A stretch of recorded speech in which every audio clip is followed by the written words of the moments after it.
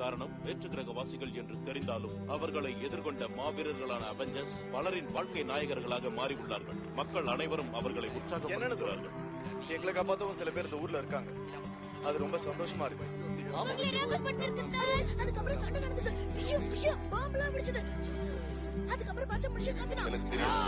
இப்போ நாங்க பாதுகாப்பா தான் இருக்கோம்னு சரியா சொல்ல முடியாது. அரசாங்கம் நம்ம கிட்ட நிறைய விஷயங்களை மறைக்கிற மாதிரி தெரியுது. நம்ம ஊர்ல சூப்பர் ஹீரோஸா என்ன கதை விடுறீங்களா மக்கள்லாம் பாராட்டிக்கிட்டு இருக்கிற இந்த ஹீரோஸ் தான்.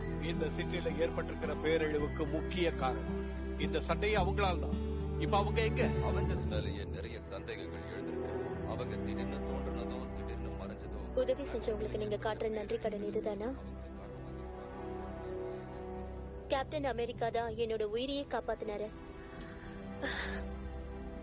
அவர் எங்க இருந்தாலும் சரி. அவரு கூட இருந்த மத்த அவெஞ்சர்ஸும் எங்க இருந்தாலும் சரி. அவங்களுக்கு நான் என் நன்றியை தெரிவிச்சுக்கிறேன். அவெஞ்சர்ஸ் இப்ப எங்க இருக்காங்க? அவங்க எங்க போறாங்கன்னு கண்காணிக்கிறது என் வேலை இல்ல? எனக்கு என்னவோ அவங்க ஓய்வு எடுக்க போயிருப்பாங்கன்னு தோணுது. அப்ப அந்த டெசராக்ட் அதுக்கு சொந்தமான இடத்துக்கு போயிடுச்சு. அது நமக்கு சொந்தமானது இல்லையே.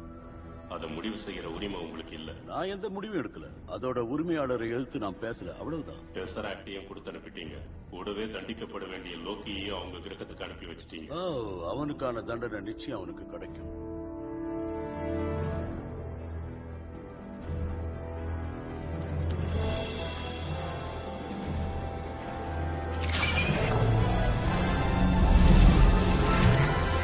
சரின்னு நினைச்சு நீங்க ஒரு பெரிய தப்பு செஞ்சிருக்கீங்க.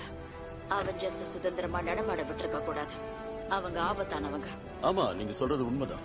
அவங்க எவ்வளவு ஆபத்தானவங்கன்னு உலகத்துல இருக்கிற ஒவ்வொருத்தருக்கும் தெரியும். இப்போ நீங்க கடைசியில என்ன சொல்ல வரீங்க? யார் இந்த அவெஞ்சர்ஸ் பூமியை காக்க பிறந்தவங்க